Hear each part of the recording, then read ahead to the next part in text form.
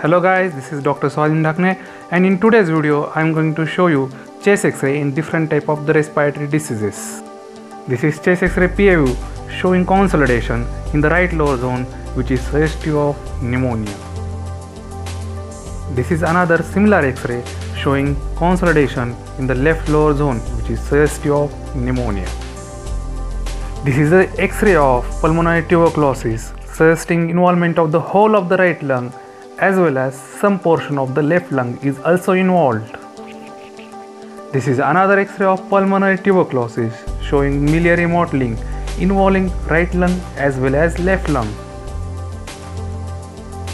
As you people can see, this is the x-ray of a chronic smoker person showing carcinomatous growth on the left side of the lung which is indicated by an arrow which was confirmed by biopsy also.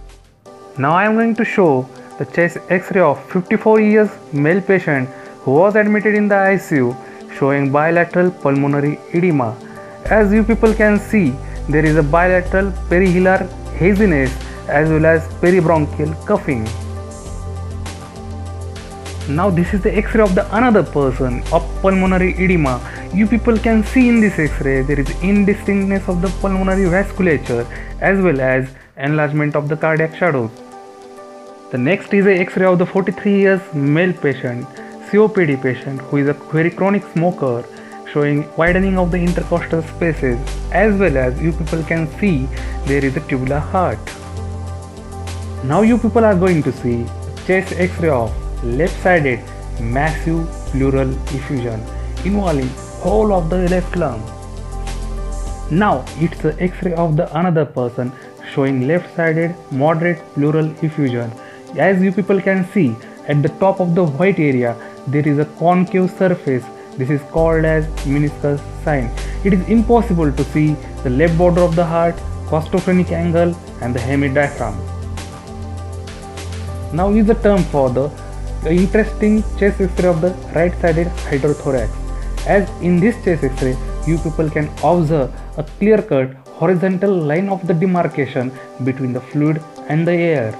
This is the x-ray of the right-sided hydrothorax. Next is the x-ray of the left-sided pneumothorax.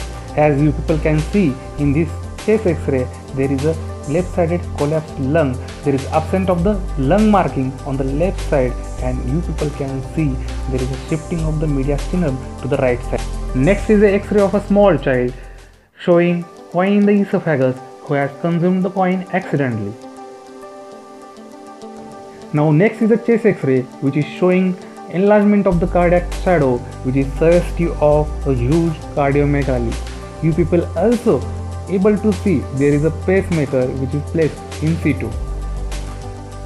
Now last but not the least this is the chest x-ray of idiopathic pulmonary fibrosis and in this chest x-ray you people can see there is a peripheral reticular shadows at the periphery of the both the lungs. Thank you for watching this video and don't forget to subscribe.